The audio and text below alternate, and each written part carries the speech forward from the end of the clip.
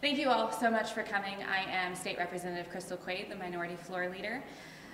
When Governor Mike Parson initially called this special legislative session, it was clear that his purpose was not to address violent crime, but to change the subject from his disastrous leadership during the COVID-19 pandemic. I wanted to invite you here today to make this, to make this personal. Because it seems Governor Parson may need a reminder that when we discuss COVID-19, we should be thinking more than just numbers. We should be looking at faces. I've invited here today to speak Angela Kinder from St. Louis, who recently lost her mother to COVID-19. And she's here today to ask the governor and other elected officials to take action that is long overdue.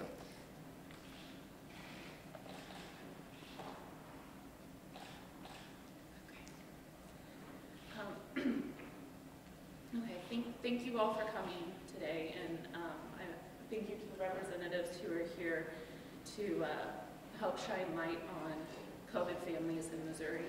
There you go. Thank Is that okay? okay. Um, my mother lost her battle with COVID-19 on June 6th while in an ICU in St. Louis, Missouri. Um, my mother was fierce and she had survived many struggles um, in her life while maintaining a positive outlook that most people would not have been able to keep. The last thing that my mother said to me was, it's not going to win, I'm fighting. And four days later, she was dead. There are over 160,000 families in this country with stories like my mom's and mine, and over 1,300 in Missouri. And COVID families have had enough. It is not acceptable to talk about this virus like it is easily gotten over. No one knows who will be killed by it, who will have lifelong physical repercussions, and who will be mildly affected. This virus is brand new, and it makes sense that we don't know how people will be affected. We need time to study it and learn how to live with it. During that time, it is clear, common sense to protect our communities and the families in them by wearing masks. I am speaking out not only for those we have lost, but for those we still stand to lose.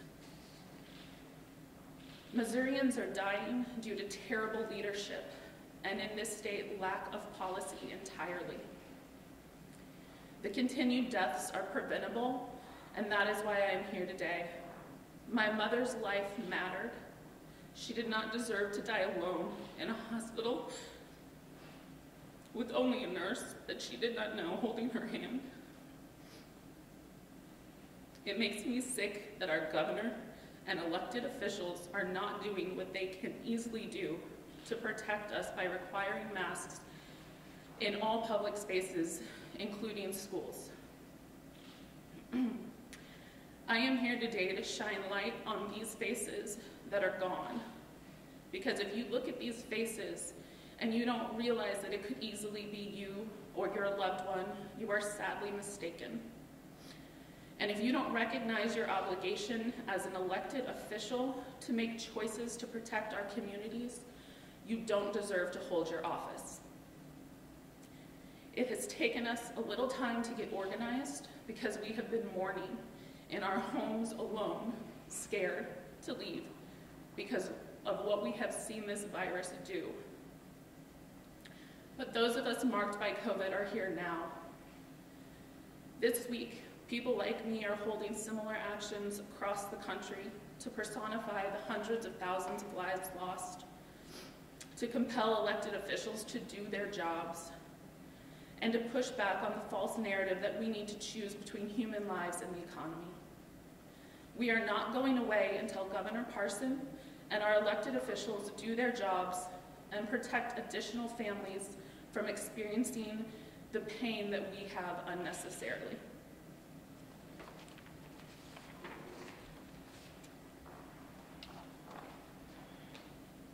And alongside Ms. Angela Kender, we have invited an educator here with us today. In true grassroots fashion, uh, yesterday while walking down the sidewalk, I met Mr. Julian Vizitei outside the governor's mansion yesterday while he and other educators were protesting how the governor has handled the reopening of our schools. And I'd like to give him a moment to speak about what our teachers and staff are facing. The governor has had five months to develop a plan for our schools this fall, and he has done nothing. After every single school in Missouri chose to close their own doors, Parson finally said that they should. Here we are with schools about to start as early as next week, and they have absolutely no guidance from the top. We are setting up our schools to fail, and I want to give this educator a few moments just to talk about that.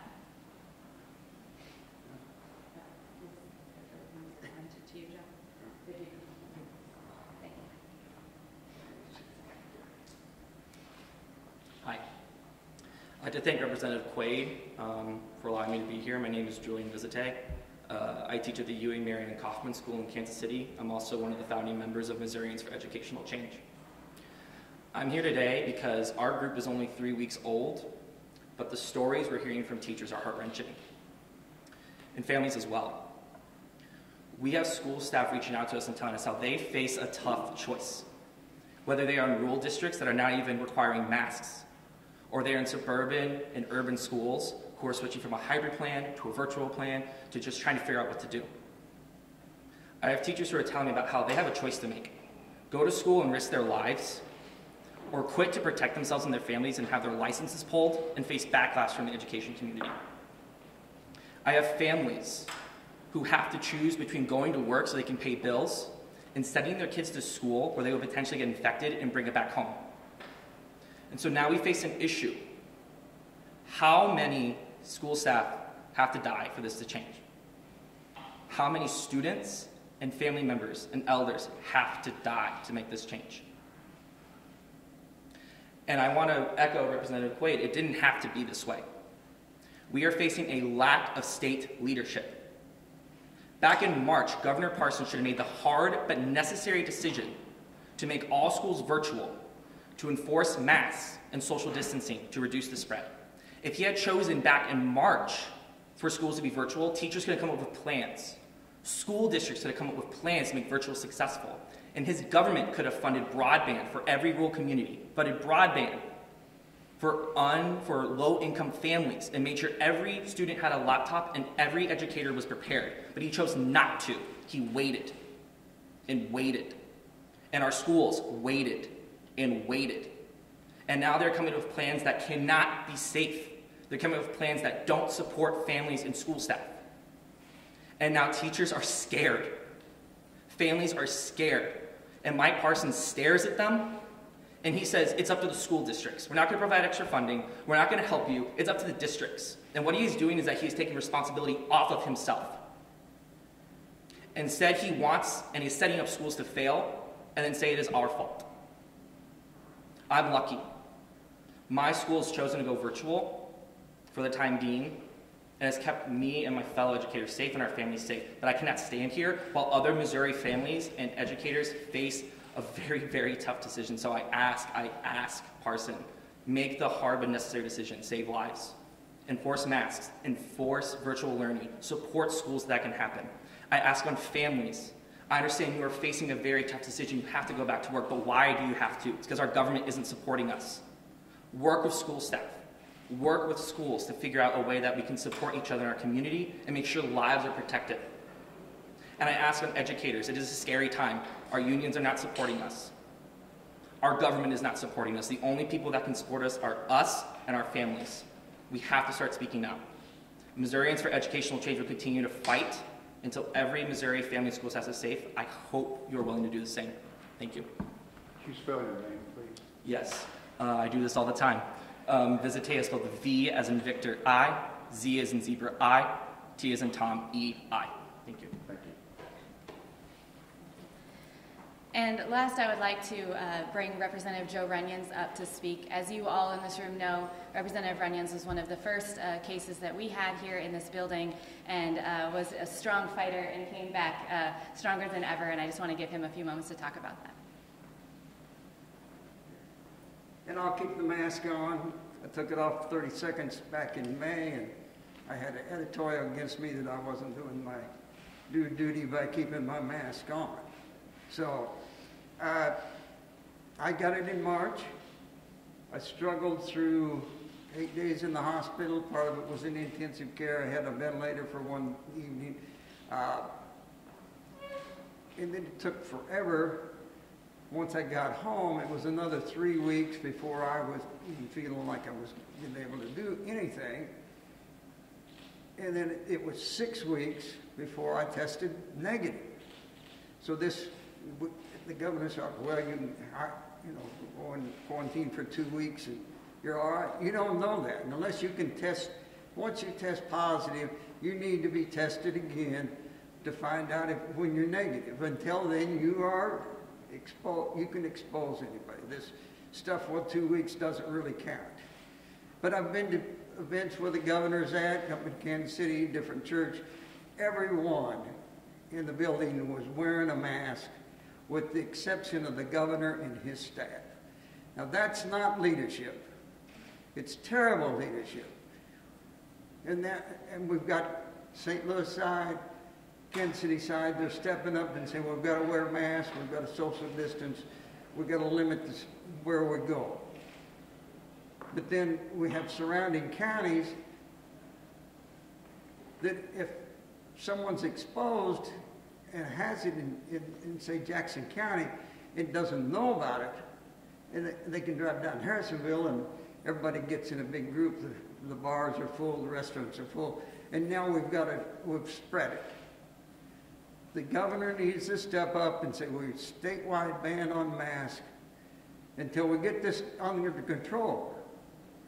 And then if you have the virus, at least, you- you know, this young lady, he, she lost her mother, there is plenty of side effects after, believe me. If you're, I'm negative, I have other problems that I didn't have in the first of February. So nobody knows what's going on. You're, and the other thing, yesterday, someone said, well, you had it while you were wearing a mask. Well, my doctor says, and three of them have said that, you could get it again. And that's always possible. So we need to have leadership at the state level and at the federal level that says, put the mask on and keep it on until this is whipped. Thank you. Thank you all again so much for being here. Um, as you've heard today, we have folks from the educational spectrum, families with kids getting ready to go back to school, to individuals who have lost members or have contracted the virus and have gone through the terrible experience of being ill for several weeks. The end of the day, the conversation for the House Democrats is simple. Is that the governor has continued to push this off and refuse to take leadership and make hard decisions and continues to lay it on everyone else. We had an amazing president one day say that the buck stops here. And I think it's high time that Parson actually listened to that. Thank you all, and we're happy to answer any questions you may have. Leader, wait, um, the lady who spoke, Ms. Kender from St. Louis, whose mother passed away, she mentioned that Missourians need leadership, that we've had terrible leadership in this state. Do you, uh, do you agree with that? I definitely do. You know, I, I, I think that across this country, we've seen governors take an array of stances, make decisions, sometimes change their minds. What we have not seen in Missouri are any decisions. And to me, that is a failure in leadership. I just came out of a hearing downstairs where the Commissioner of Education said not letting kids go back to school uh, will bring a host of learning problems down the road, uh, where others uh, said that having kids on the street instead of in school puts a lot of risk on them that being in school. The point is that it's a balance, and they have chosen to let local districts uh, tip that balance in their favor. Yeah. That's not good enough. It's not good enough in that, um, yes, we, there are a lot of different views in Missouri of how this should be handled. We are Missouri. That's generally how we function. The difference is, is Governor Parson should have made some hard decisions five months ago so that we wouldn't be in this situation to begin with. As the educator previously said, you know, if decisions had been made, teachers would have had time to prepare. We should have directed more funding to our schools to buy cleaning supplies. I have teachers doing GoFundMe's right now so they can buy Clorox wipes for their classrooms. This is, again, a, a situation that if the governor had stepped up, back in March when we knew this was coming and made some hard decisions then, we would not be in the situation now where our educators are in between a rock and a hard place trying to figure out what to do. What's going to happen from this is kids will get sick, just as the governor admitted. Kids will get sick. But what shouldn't happen is our school districts being blamed for that. Leader Quade, uh, you mentioned that the governor had called a special session on violent crime to take away take away the discussion about what's happening in the state. Would you have liked to have seen him call a special session on the issue of COVID? And if so, what, what would you like to see addressed in a, in a special session? Yeah, um, well, I, I hope that you all remember back in March, the Missouri uh, Democratic Caucus here in the House put out a list of priorities for COVID 19 way back then, um, asking for us to make those choices in the budget process, in the legislative process, and we also put out a list of things that we suggested that the governor should be doing through his uh, power uh, through the state of emergency. Um, obviously, some of those things he did do later down the line, um, but yes, and again, I would say that we should have done this months ago. What's frustrating, I can tell you for me, with us being here today dealing with this quote violent crime, with a bill that does nothing to prevent violent crime, is that a year ago when we asked for this, when the Missouri Legislative Black Caucus and the House Democrats asked for a special session to deal with the violent crime then, the governor said that he needed to stay in his lane, and that wasn't his job, and the legislature would deal with it. Well, here we are with thousands of Missourians dying, and that's when he decides it's in his lane. I'm sorry, but that is unacceptable. This is election rhetoric, and it all, all it is is a distraction.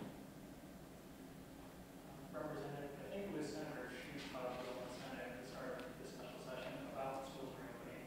Um, is there more you'd like to see in that bill, more ideas from the House you think will be brought forward? I'm sorry, I only heard the second half of that. Um, you were saying Senator Schupp uh, introduced a bill in, in this special session. About schools reopening? I actually did, have not read her bill, so I can't really speak to the um, exacts of it. I apologize. Um, I'm happy to look at it and get back to you with an answer to that. The governor's been very adamant that this was only going to be a special session on violent crime. He, as we all know, expanded it yesterday. Do you have any hopes or do you have any pleas that maybe he'll expand it a little bit more for COVID? You know, um, hopes, uh, yes, um, but expectations, not really. But that's one of the things where I have to give so much credit to Ms. Kender here. She is going around and meeting with our leaders on both sides of the aisle, dropping off these packets with faces and stories of, and we've got a couple here if you all want to look at them, of individuals right here in Missouri who we have lost and their families. And as I said, maybe if we start putting faces to this instead of numbers, the governor will, will take it seriously. Um, at this point, we're trying anything we can. Angela, will you take any questions? Sure. I was just wondering how many you've received, how many photos, how many stories? Are families reaching out to you? Are you reaching out to families? How are you getting um, the photos? Yeah, um, I found some support groups on Facebook and started expressing what I wanted to do during special session and bringing pictures. And I got a couple of interviews through that and set up an email address. So people have been sending their photos of their loved one and their story to Missouri COVID Memorial at gmail.com. I have not um, sought anyone out. I've let them come to me through hearing uh, the stories that have been um, put out there, radio and, and TV. Um, I have unfortunately not been able to get a story out in St. Louis or Kansas City, which is where the majority of the, the deaths and the cases have happened. Um, but I have received 15 photos and stories um, at this point. I would love more because um, people's stories and sharing their faces uh, until we have protections in place for Missourians. What is that email address again, Ms. Kane? It's Missouri, spelled out COVID memorial at gmail.com. Any other questions? Thank you all so much for being here. I appreciate it. Can you guys